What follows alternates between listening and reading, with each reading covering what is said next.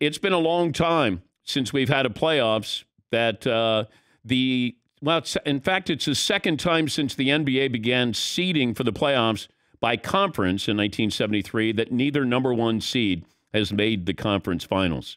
But you had some great basketball over the weekend. Certainly, what happened with uh, the Atlanta Hawks with Philadelphia. Philadelphia is more interesting just because I don't know what we're going to see next year. What's that lineup going to look like? And if you're Philadelphia, based off of some of the comments, post game comments here, they got a big decision to make with Ben Simmons. Here is Joel Embiid on the turning point of the game yesterday. I don't know how to say it, um, but I thought the turning point was just, you know, we had uh, an open shot and, you know, we missed, uh, we made one free throw and uh, we missed the other and then they came down and scored uh, and uh, we didn't get a good uh, possession on the other end and Trae came back and he made a three and then from there down four and then I go, I, he's on me, I turn the ball over and try to you know, make something happen uh, from the perimeter. Um, and um, but uh, I thought that was a turning point.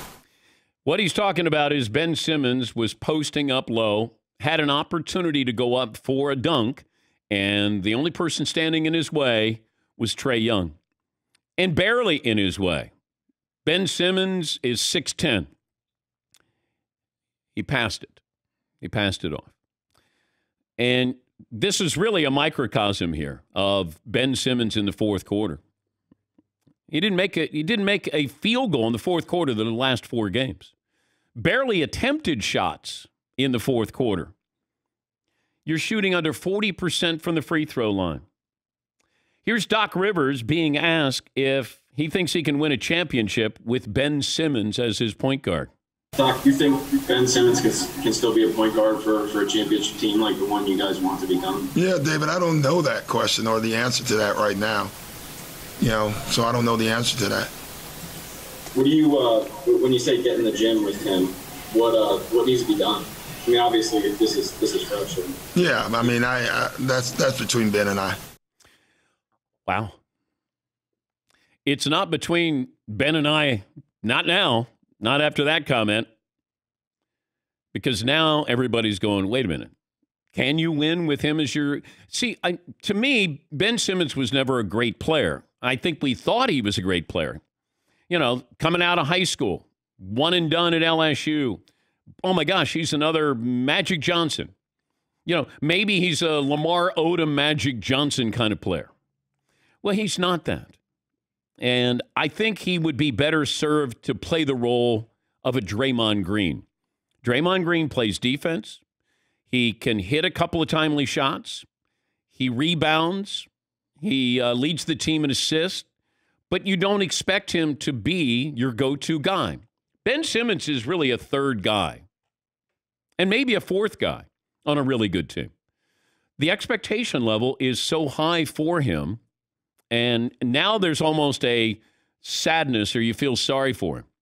You know, Markelle Fultz forgot how to shoot and had to leave Philadelphia, went to Orlando and sort of revitalized a career here. I don't know what you get for Ben Simmons. I don't know who's going to want Ben Simmons. But if you if it's almost like he needs to go to a team that doesn't have great expectations. That you don't expect them to win. Therefore, he can kind of figure out who he is as a player because I don't know if he knows. And you could see he was just very tentative. You can't be tentative in sports. But this is going to be a long off season for Ben. And I think just trying to figure out who he is and what he needs to do. Here's uh, Ben Simmons meeting with the media on this off season. Ben Doc said there's work to do, and you, he and you need to get into the gym.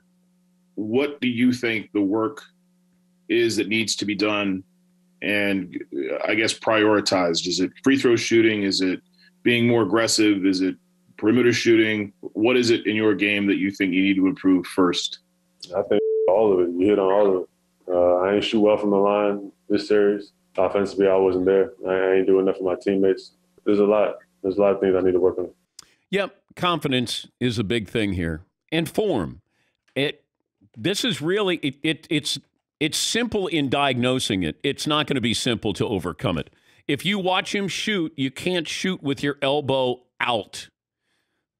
He's got to he's got to clear that up, clean that up, and shoot more with the arms straight up instead of out because out is a horrible form. I've been saying it since he was at LSU. It almost looked like he's a right handed player who's learning to shoot left handed. But I don't know if you can bring him back. I really don't. And by the way, to the reporter, don't ask a question and then answer the question. How about you just say, Doc said, what do you need to work on?